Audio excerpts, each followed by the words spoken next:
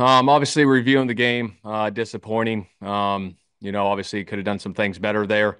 Um, you know, but the one thing about our football team is there's no quitting these guys and they keep fighting. Um, so we'll get ready for this week, get ready for the Jets, uh, be ready to roll. James. Shane, will Joe start against the Jets? Joe will be the starter for the Jets, yes.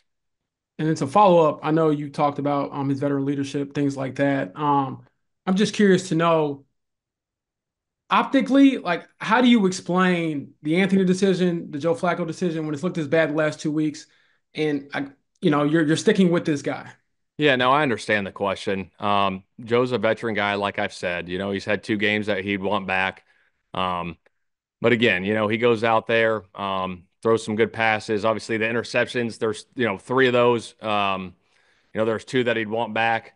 Um, again, you just stick with it. You grind through it. The process of this whole thing, man, it's it, it really is a process. So we're going through that process right now, and right now, Joe's still our guy. Jake. Yeah, so obviously, no one no one wants to be losing, obviously, but with this move being made to win games and and it's this clunky, what do you feel like you guys are are getting out of this without having, you know, your young developmental quarterback out there? Yeah, no, it's a great question, Jake. I, I understand it. Um, I still think we're in the thick of it right now um, with our record and stuff, and it's not over yet. So obviously, we got a great opportunity uh, this week against the Jets, and we got to have a great week of preparation, uh, and we go from there. Nate. Hey, Shane, um, feel like we should address some of what uh, your captains had to say yesterday. Uh, I'm sure you saw the comments, Kenny Moore and, and Zaire Franklin talking about how they feel like uh, the preparation, the work ethic, the focus from practice hasn't been good enough. Um, just where do you stand on that? Do you feel like did you see the things that they're seeing? Is this something that that you addressed with them, or how do you kind of handle this situation? Yeah, we had a meeting this morning uh, with those guys. I think anytime you lose, right, it's frustrating, especially three in a row games that you could have won. Um, but I think the biggest thing is you learn from that. You're going to go through adversity in every football season. You are. You're going to have it. Some more than others, and we're going through some adversity right now. But you know, we get to decide how this thing ends. You know, we choose it as players and coaches uh, of going through the process and grinding through it uh, and getting ready for the Jets. And that's what we can control is is getting better every single day and getting ready for the Jets. And just one quick follow up. I mean, from your perspective, do you feel like practices have been how you've wanted them to be? Do you feel like the work ethic is there? And were you surprised to hear what they had to say? Yeah, I think I think anytime you lose, right, you're always going to look at things, man. What what are the little things that we're not doing or doing or whatever it may be, right? And and I think it comes back to fundamentals and details and making sure we're all over those. You know what I mean? It's practice with that urgency and purpose every single day so we can get done what we want to get done on Sundays. Because when you're falling short, you're always going to look at things. You know what I mean? Especially me as a coach, I'm going to look at the practice stuff and schedules and all that stuff and how we're practicing uh, to get it turned. Kevin. Shane, specifically, Kenny mentioned preparation. I know that's one of your core values. No when you hear that word specifically, does that bother you?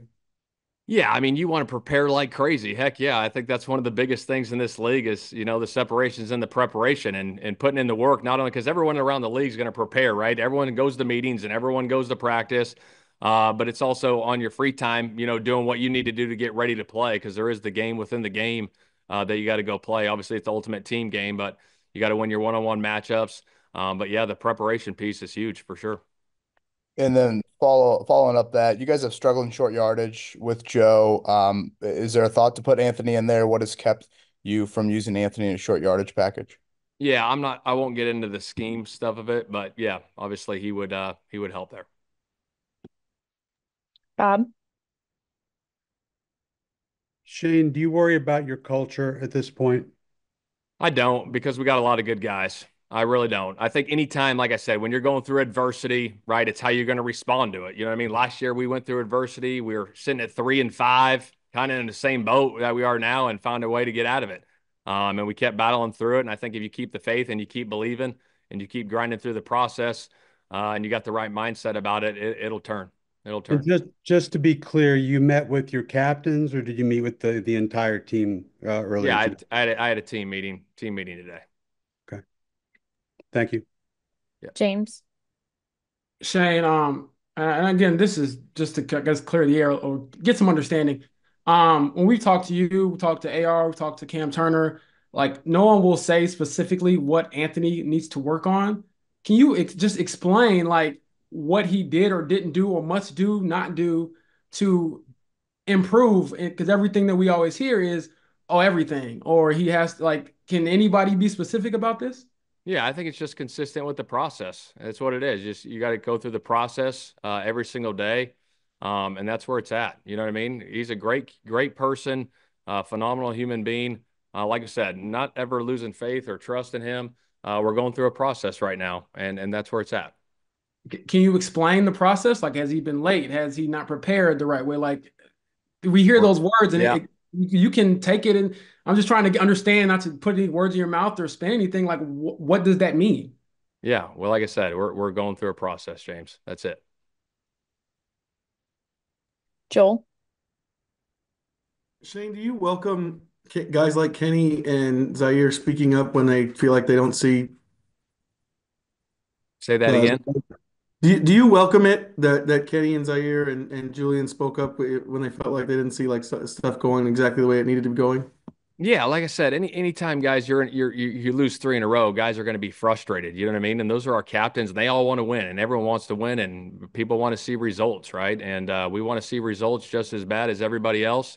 Um, so we have an opportunity to go do that this week against the Jets. And uh, again, had a good team meeting, had good conversations with the players this morning. Uh, everything you guys have been talking about was addressed, uh, and we're going to go from there. And we're going to put in the work this week uh, to go to New York and win a football game. A couple more, Stephen.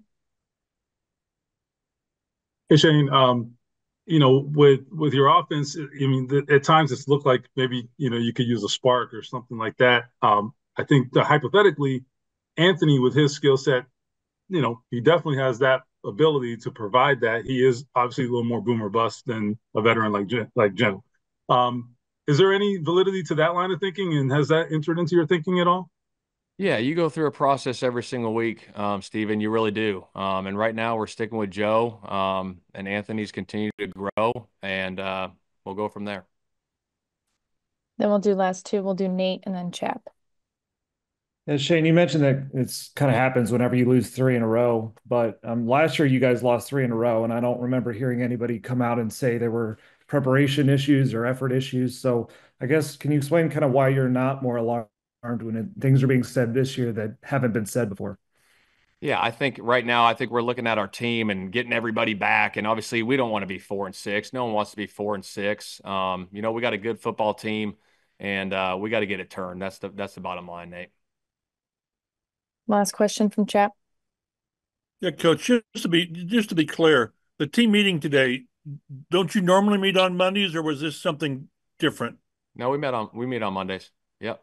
So this wasn't that you didn't call a team meeting. This was a team meeting you always have. Team meeting, yep. Okay. Thank you.